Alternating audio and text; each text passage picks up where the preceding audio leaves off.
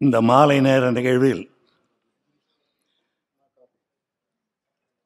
வெளிநாடு வாழ் தமிழர்களுடைய நலன் நாடுகின்ற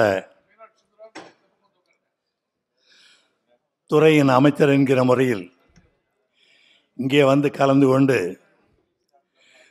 சிறப்பான உரையாற்றி விடைபெற்றிருக்கின்ற மாண்புமிகு அமைச்சர் செஞ்சி மஸ்தான் அவர்களே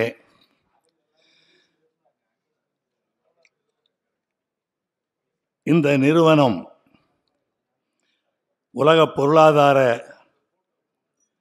மாநாட்டினுடைய இந்த அமைப்பினுடைய நிறுவனர் தலைவர் நீண்ட நாளாக என்னுடைய நெருங்கிய நண்பர் பிஆர்எஸ் சம்பத் அவர்களே அதே போல இந்த நிகழ்ச்சியில் வரவேற்பு குழுவினுடைய தலைவர் பிஜிபி என்றால் தெரியாதவர்கள் யாரும் இருக்க முடியாது. அந்த நிறுவனத்தினுடைய தலைவர் முனைவர் பிஜி சந்தோஷம் அவர்களே என்னுடைய அணியில இருந்து கருத்துக்களை எடுத்து நிறுவ வந்திருக்கின்ற அன்பிற்குரிய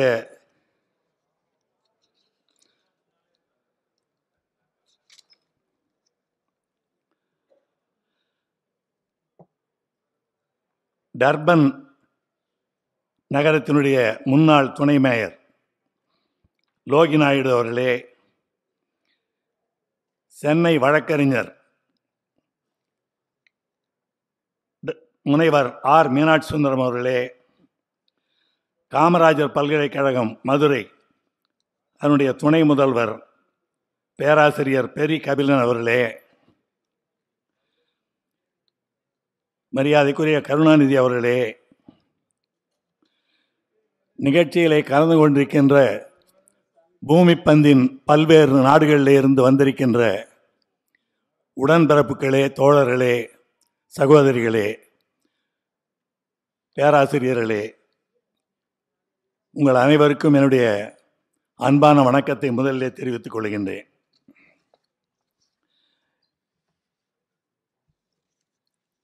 பெருநிறுவன சமூக பொறுப்பு வாயிலாக வறுமை ஒழிப்பு மற்றும் வேளாண்மை துறையின் மூலம் ஊரக வளர்ச்சி அரசு சாரா நிறுவனர் பங்களிப்பு இதன் மூலம் எப்படி நாம் இந்த சிறப்பான பணியை ஏழ்மை ஒழிப்பை வறுமை தணிப்பை நிறைவேற்றப் போகிறோம் என்பதற்கான உரையாக இந்த உரை அமைந்திருக்கிறது. வறுமை என்பது உலகம் தோன்றிய காலத்திலிருந்து இருப்பதுதான். எல்லா சமுதாயத்திலும் அது இருக்கிறது. உலக இலக்கியங்களிலே கூட பல இடங்களிலே. வறுமையை பற்றி நிறைய சொல்லப்பட்டிருக்கிறது. திருக்குறளிலேயே வள்ளுவர் நல்குறவு என்ற தலைப்பில் வறுமையை பற்றி எழுதுகிறார். வறுமையை விட கொடியது எது என்று சொன்னால் வறுமையை விட கொடியது வறுமையேதான் என்று சொல்கிறார் வள்ளுவர். இன்மையின் இன்னாதது ஆதனின் இன்மையின் இன்மையே இன்னாதது என்று மிகப்பெரிய விளக்கத்தை அருமையாக வள்ளுவர் கொடுத்திருக்கின்றார். அந்த இலக்கியங்களே வறுமையை பற்றி சொன்னது மட்டுமல்ல வறுமை ஒழிப்பு அதை நிறைவேற்ற வேண்டுமென்றால் பொருளாதாரத்திலே மேம்பட்டவர்கள் செல்வம் நிரம்பியவர்கள் அவர்களெல்லாம் சமுதாயத்திலே முன் வர வேண்டும். செல்வத்து பயனே ஈதல் என்று அவர்கள் உணர வேண்டும் என்றும் வள்ளுவர் சொல்லியிருக்கிறார். எனவே கைவிடப்பட்டவர்களை கைதூக்கி விடுதல் ஆதரவற்றவர்களுக்கு அரவணைப்பு வழங்குதல் இவைகளையெல்லாம் யார் செய்வது? யாருக்கு அந்த பொறுப்பு இருக்கிறது என்ற அந்த உணர்வைத்தான் இந்த தலைப்பிலே நம்முடைய விஆர்எஸ் சம்பத் அவர்கள் கொடுத்திருக்கின்றார்கள். கைவிடப்பட்டவர்களை கைதூக்கி விடுகின்ற அந்த பொருளாதார வளம் யாருக்கு இருக்கிறது என்று சொன்னால் பன்னாட்டு நிறுவனங்கள் பொருளாதாரத்தில் செழிப்புள்ளவர்கள். சம்பத் அவர்கள் இங்கே அழகாக குறிப்பிட்டார்கள். கம்பெனி ஆக்ட்லேயே கொஞ்சம் சமுதாயத்துக்காக செய்ய வேண்டும் என்று ஒதுக்கப்பட்டிருக்கிற அந்த தொகையை சமுதாயத்திற்காக முன்வந்து ஆற்றுவதற்குரிய பணியை அந்த நிறுவனங்கள் செய்ய வேண்டும் என்பதை வலியுறுத்துகின்ற வகையில்தான் இதை நாம் சொல்லுகின்றோம். இங்கே நம்முடைய சம்பத் அவர்கள் நீண்ட காலமாக எனக்கு தொடர்புள்ளவர். நான் சட்டத்துறை அமைச்சராக இருந்தபோதும் அவர் தொடர்பிலே இருந்தவர். அந்த பதவியில் இல்லாத போதும் அந்த தொடர்பை இடையறாது வைத்திருப்பவர். நான் அவரை அடிக்கடி சொல்வேன். அவர் எங்கே இருக்கிறார் என்று கண்டுபிடிப்பதே பெரிய அரிது. உலகம் சுற்றும் வாலிபன் என்று சொன்னால் அது எம்ஜிஆர் படத்தை சொல்வார்கள். ஆனால் எங்களுக்கு தெரிந்த உலகம் சுற்றும் வாலிபன் நம்முடைய சம்பத் அவர்கள்தான். உலகத்தில் எல்லா நாடுகளுக்கும் சென்று வருபவர் உலகத்தில் தமிழர்கள் வாழ்கின்ற இடங்களிலெல்லாம் தொடர்பு வைத்திருப்பவர். அவர் அவர்களையெல்லாம் ஒருங்கிணைத்து இப்படிப்பட்ட மாநாட்டை நடத்துகின்ற ஆற்றலும் வல்லமையும் பெற்றவர் அவர்.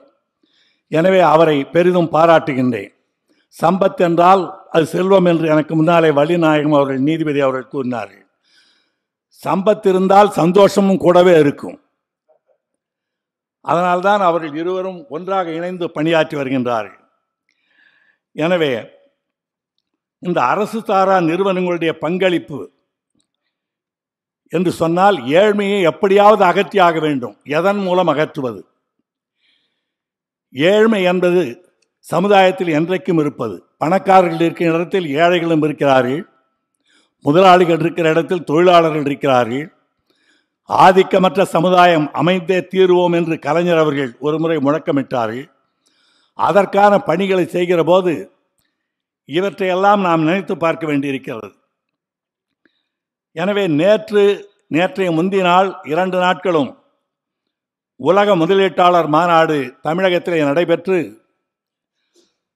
ஆறு லட்சத்து அறுபத்தி நாலாயிரத்து நூற்றி ஐம்பது கோடி ரூபாய் முதலீடு கிடைக்க பெற்று அதன் மூலம் இருபத்தாறு இருபத்தாறு லட்சத்து இருபத்தாறு கோடியே தொண்ணூறு இரு இருபத்தாறு லட்சத்து தொண்ணூறாயிரத்தி அறுநூத்தி ஐம்பத்தி ஏழு பேருக்கு வேலை வாய்ப்பு கிடைக்கும் என்று சொல்லக்கூடிய அளவுக்கு மிகப்பெரிய வெற்றி மாநாடாக அது நடைபெற்றிருக்கிறது.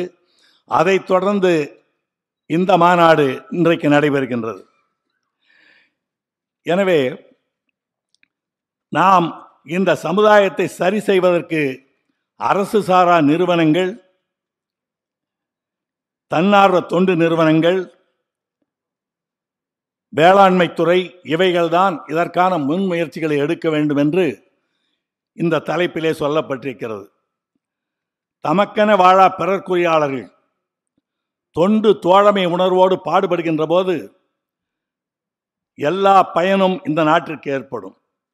வறுமை என்பது நல்லது என்ற மனப்பான்மை இந்திய பாரம்பரியத்திலே இருந்து வந்த ஒன்று. வறுமை இருந்தால்தான் அவன் எதிர்த்து போராட வேண்டும் என்ற எண்ணம் இருக்கும். கடவுளுக்கு மிக நெருக்கமாக இருப்பான். அதனால் அவன் சில பயன்களை பெறுவான் என்று அப்படி ஒரு நம்பிக்கை. அது ஒரு வகையில் மூட நம்பிக்கை தான். என்றாலும் கூட அந்த நம்பிக்கை அவர்களுக்கு இருந்தது. மாயா என்கிற நம்பிக்கை. உலகமெல்லாம் மாயமானது. வாழ்வாவது மாயம் மண்ணாவது திண்ணம் என்று உலகத்தை வெறுக்கின்ற ஒரு முறை எந்த கவலைகள் வந்தாலும் அதை பற்றி கவலைப்படக்கூடாது. அது வந்துதான் தீரும் என்ற அந்த மாயா உலகத்தில் வாழ்கின்றவர்களாக நம்முடைய மக்கள் மூடத்தனங்களிலே இருந்தார்கள். இன்னொரு தத்துவம் கர்மா தத்துவம். போன பிறவியில் ஏற் செய்த காரியங்கள் தான் இந்த பிறவியிலே பயன்களாக வருகின்றன அல்லது தண்டனைகளாக வருகின்றன. எனவே இப்பொழுது நாம் அனுபவிக்கின்ற தொல்லைகள் எல்லாம் இப்பொழுது வருவதல்ல. அது போன ஜென்மத்தினுடைய விளைவுகள் என்று அப்படி ஒரு மூடத்தனமான கர்மா தத்துவம் இருந்தது நமக்கு. அதற்கு விதி என்று ஒரு பெயரை கொடுத்து விதி என்றால் ரூல் அல்ல ஊழ்.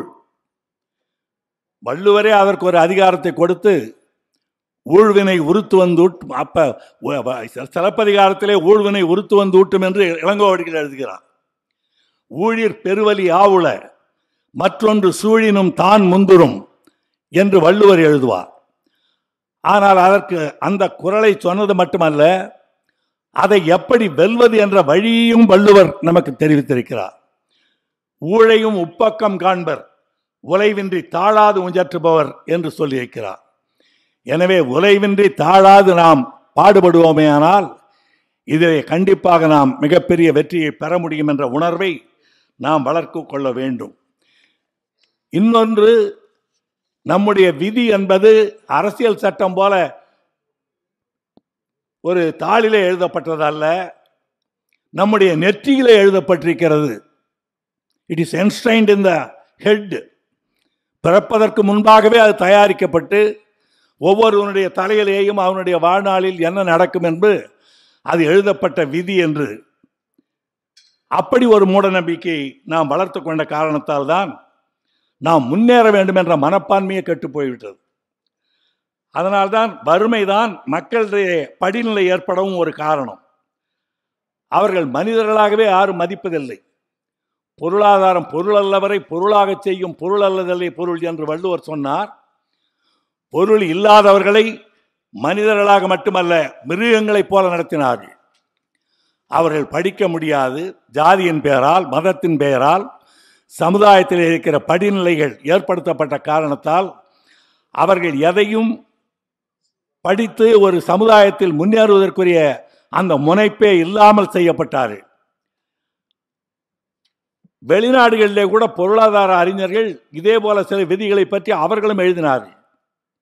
சப்ஜிஸ்டன்ஸ் தியரி ஆஃப் வேஜஸ் என்று எங்களுக்கு பொருளாதாரத்தில் ஒரு தலைப்பு வரும். அவர் சொல்லுவான் தொழிலாளி எப்பொழுதும் ஒரே மாதிரி தான் இருப்பான். பத்தாயிரம் வாங்குகிறவன் இருபதாயிரம் வாங்கினாலும் பத்தாயிரம் வாங்கிய நிலையிலே தான் அவன் இருப்பான் என்பது அந்த விதி. ஏனென்றால் பத்தாயிரம் சம்பாதிக்கிற போது ஒரு மனைவி ரெண்டு குழந்தைகள் இருக்கும்.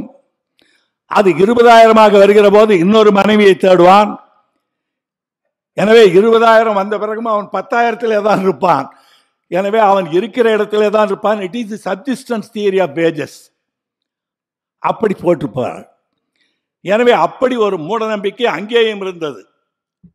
ஆனால் இந்த சமுதாயத்தில் இறந்தும் உயிர் வாழ்தல் வேண்டின் பறந்து கடுக உலகேற்றான் என்று வள்ளுவர் கடுமையாக சொன்னார். பிச்சை எடுத்துதான் வாழ வேண்டும் என்ற நிலை இருக்குமானால் அப்படி ஒரு விதியை இறைவன் என்பவன் உண்டாக்கியிருப்பானேயானால் அவன் பறந்து கடுக என்று வள்ளுவர் சபிக்கிறார். ஔவையார் மிகச்சிறந்த கவிஞர் பெண்பார் கவிஞர். அவர்கள் கொடியது கேட்கின் நெடியவேல் நெடியவேல் வேலோய் கொடிது கொடிது வறுமை கொடிது அதனினும் கொடிது இளமையில் வறுமை என்று. வறுமையை பற்றி ஒரு மிகப்பெரிய விளக்கத்தை கொடுத்து அந்த வறுமையை போக்குவதற்கு அவர் சொல்லுகிற போது சாதி இரண்டொழிய வேறில்லை சாற்றுங்கால் நீதி விழுவா நெறிமுறையில் இட்டார் பெரியார் இடாதார் இழிகுலத்தோர் ஜாதி ரெண்டு தான் ஐயா. கொடுக்குறவன் பெரிய மனுஷன் கொடுக்காதவன் கீழானவன் அப்படின்ட்டு கிளா கிளாசிஃபிகேஷன் ஆஃப் பீப்புள் எவ்வளோ அழகா ஔவையார் அவர்கள் சொன்னார்கள். எனவே தனியொருவனுக்கு உணவில்லை எனில் ஜெகத்தினை அழித்திடுவோம். இது நம்முடைய பாரதிக்கு கோபம் வந்தால் மீசையை முறுக்கிட்டா அவருக்கு ரொம்ப கோபம் வரும். தனி ஒருவனுக்கு உணவில்லை என்றால் இந்த ஜெகத்தையே நாம் அழிச்சவன் எதுக்கு இப்படி ஒரு சமுதாயம் இருக்கணும் என்று அவ்வளவு கோபத்தோடு அவர் சொன்னார். எனவே சமதர்ம சமுதாயத்தை அமைப்பது நமக்குரிய கடமைகள். பலகாலம் இந்த பிரச்சனை விவாதிக்கப்படாமலே இருந்தது. அறுபத்தேழுக்கு பிறகுதான் பேரறிஞர் அண்ணா அவர்கள் தமிழகத்தின் தலைமை பொறுப்பை ஏற்றதற்கு பிறகுதான் இந்த விதி கர்மா தலைவிதி இவற்றையெல்லாம் மாற்றுகின்ற முனைப்பும் ஆர்வமும் அவர் தமிழகத்தில் நீண்ட காலமான சொற்பொழிவாற்றி உண்டாக்கிய காரணத்தால் தந்தை பெரியார் அவர்கள் கொடுத்து எடுத்து சொன்ன காரணத்தால் நாற்பத்தேழிலே சுதந்திரம் வாங்கியதற்கு பிறகு அதுவரையில் நாற்பத்தேழிலே கணக்கு தீர்க்கப்பட்டது. நாற்பத்தேழுக்கு பிறகு கணக்கு தொடங்கப்பட வேண்டும். நம்முடைய உழைப்பு நம்முடைய திறமை நம்முடைய வள்ளல் தன்மை மற்றவர்களை அணுகுகிற தன்மை மற்றவர்களிடத்தை காட்டுகின்ற பரிவு அக்கறை இதன் மூலம் சமுதாயத்தை காப்பாற்ற வேண்டிய கடமை நமக்கு இருக்கிறது என்று பேரறிஞர் அண்ணா அவர்கள் சொன்னார்கள். திராவிடர் இயக்க லட்சியங்களிலே பற்றுள்ளவன் இளம் வயதிலே இருந்து அதிலேயே வளர்ந்தவன் என்கிற முறையில் சொல்லுகிறேன். தமிழகத்தினுடைய கடந்த கால ஐம்பது ஆண்டு வரலாற்றில் திராவிடர் இயக்க கொள்கைகளின் மூலம் திராவிட மாடல் அரசு என்று நம்முடைய தளபதி அவர்கள் சொல்கிறார்களே அதே போல அண்ணாவினுடைய ஆட்சியிலும் சரி அதற்கு பிறகு வந்த கலைஞர் அவர்களும் சரி இந்த சமுதாயத்தில் மக்களுக்கிடையிலே இருக்கின்ற வேறுபாடுகள் பொருளாதார சீரழிவுகள் இவற்றையெல்லாம் மாற்றியாக வேண்டும். ஏழை பணக்காரன் என்ற வேறுபாடுகளை குறைப்பதற்கு என்னென்ன வேண்டுமோ அந்த முயற்சிகளை எல்லாம் செய்ய வேண்டும் என்று அவர்கள் முயற்சிகளை மேற்கொண்டார்கள். எனவே அதனால்தான் திருக்குறளிலே கூட நீங்கள் பார்ப்பீர்களானால் அவர் நிறைய பண அதை பெரிய கம்பெனிகளை பற்றி இப்பொழுது சொல்கிறார்களே. அப்படி பணக்காரர்கள் ஊருணி நீர் நிறைந்தற்றே உலகவாம் பேரறிவாளன் திரு என்று வள்ளுவர் ஒப்புர வருதல் என்ற அதிகாரத்தில் இந்த மாதிரி கம்பெனிஸுக்காகவே அப்பவே சொல்லியிருக்கார் அவர். ஊரில் வந்து ஒரு பேருணி இருக்குமானால் அது நிறைந்திருக்குமானால் அது எப்படி எல்லா மக்களுக்கும் பயன்படுமோ அப்படி பேரறிவாளனுடைய திரு செல்வம் எல்லா மக்களுக்கும் பயன்படும்படியாக இருக்க வேண்டும் என்று சொல்லியிருக்கிறார்கள் அதோடு மட்டுமல்ல மருந்தன வே இப்படி ஒவ்வொன்றாக அவர் ஒப்புறுவர்கள் பயன்மரம் உள்ளூர் பழுத்தற்றால் செல்வம் நயனுடையான் கண்படின். மருந்தாகி தப்பா மரத்தற்றால் செல்வம் பெருந்தகையான் கண்படின். என்று பெரிய இடத்தில் இருப்பவர்கள் சமுதாயத்திற்கு பாடுபட வேண்டும் என்று தாளாற்றி தந்த பொருளெல்லாம் தக்கார்க்கு வேளாண்மை செய்தற் பொருட்டு என்று ஒவ்வொன்றிலேயும் தமிழர்களுக்கு கட்டளையிட்டு வள்ளுவர் மிக தெளிவாக சொல்லியிருக்கின்றார்கள். எனவே ஏழ்மையின் பிடியிலே இருக்கிற மக்களை விடுவிக்க வேண்டுமானால் உழவுத் தொழில் சிறக்க வேண்டும். கிராமப்புற வளர்ச்சி பெருமையாக இருக்க வேண்டுமானால் உழவுத் தொழில் சிறப்பாக நடைபெற வேண்டும். உழவர்கள் தான் இந்த சமுதாயத்தை வாழ வைக்கக்கூடியவர்கள். தயாரிக்கின்ற உற்பத்தி செய்கிற பொருளை உடனடியாக சாப்பிடுகிறவன் அவன்தான். உற்பத்தி செய்யாதவர்களுக்கும் உணவுப் பொருளை கொடுப்பவன் விவசாயி தான் எனவே அந்த உழவர்களுடைய பெருமையை நாம் உணர்ந்து அவர்களை காப்பாற்ற வேண்டும் என்ற அந்த எண்ணம் நமக்கு வர வேண்டும். எனவே இங்கே பேச வருபவர்கள் இந்த விழிப்புணர்வை உண்டாக்குகின்ற வகையில் சுற்றுப்புற சூழலானாலும் சரி சமுதாய மேம்பாடானாலும் சரி இந்த சமுதாயத்தில் இருக்கின்ற ஏற்றத்தாழ்வுகளை போக்குவதற்கு என்னென்ன பணிகளை ஆற்ற வேண்டுமோ அவற்றையெல்லாம் குறித்து இங்கு உரையாற்ற வேண்டும் என்று அன்போடு கேட்டு இந்த அளவோடு நான் என்னுடைய உரையை நிறைவு செய்கிறேன். இங்கே நம்முடைய தோழர்கள் நிறைய பேர் பேச இருக்கிறார்கள் இரண்டு மூன்று பேர். அவர்களுடைய கருத்துக்களை செவிமடுங்கள் என்று கேட்டு இந்த அளவோடு அமைகின்றேன். வணக்கம். மேலாள் அமைச்சர் அவர்கள் மிக அருமையான ஒரு இலக்கிய பேருரையை இங்கே நிகழ்த்தி விட்டார்கள் அவர்களுக்கு எங்களுடைய நெஞ்சார்ந்த நன்றி.